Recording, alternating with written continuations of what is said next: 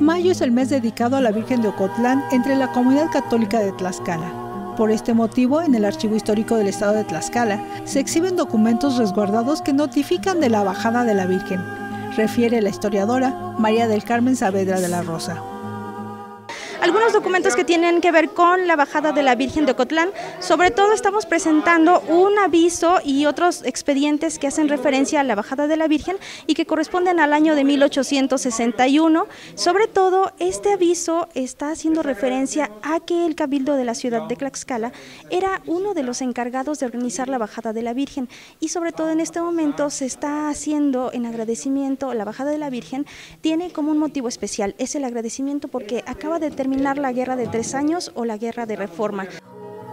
La Virgen se apareció entre el 27 de febrero o el 12 de mayo de 1541. Otros documentos refieren la bajada de la Virgen en otras fechas, además del mes de mayo como lo menciona Juan Buenaventura Zapata y Mendoza.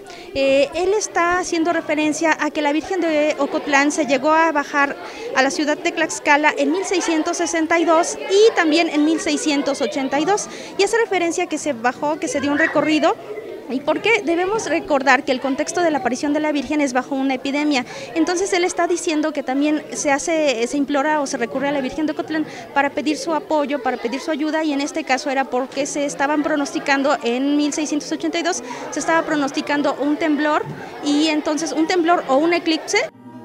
El Archivo Histórico del Estado de Tlaxcala le invita a conocer el patrimonio documental que resguarda consultarlo y recuperar la memoria de este patrimonio cultural.